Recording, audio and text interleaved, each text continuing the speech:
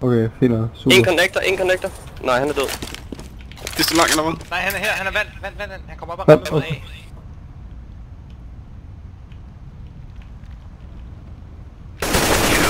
Nice, det der. Jeg tænkte nok, jeg havde ramt ham. Vildt. Så er jeg også i gang. Okay. Endelig var jeg heldig med timing der, mand. de, de to runder, vi har fået nogen, der har vi vundet. Mm, det er genialt. Keep, keep it up, boys. Ja. Roger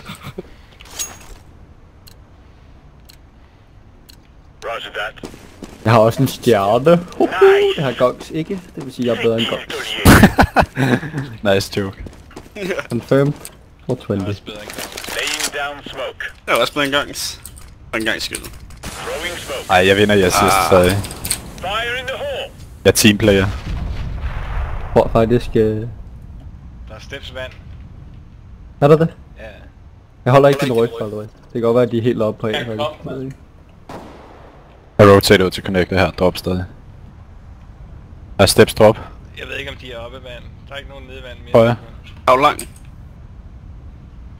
Jeg, Jeg har i ikke drop mere. Jeg har ikke drop mere. Nej, jeg holder den. Nej, nej, dål. Han kommer Hvor var det? Skulle de op af, eller han hvad? Han går tilbage midt, han går tilbage. Jeg tror, de kommer B. Jeg kan høre folk bag, jeg kan høre folk bag. Grenade out.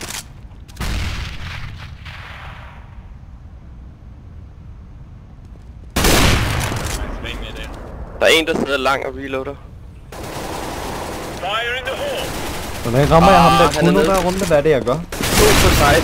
Han er Nej, to på side, han er om bag statuen. det er vist det der dag. Fuck, man. Var det luft, no scope eller sådan noget? Ej, det var bare vildt flik. Jeg har det på Shadowplay dagen.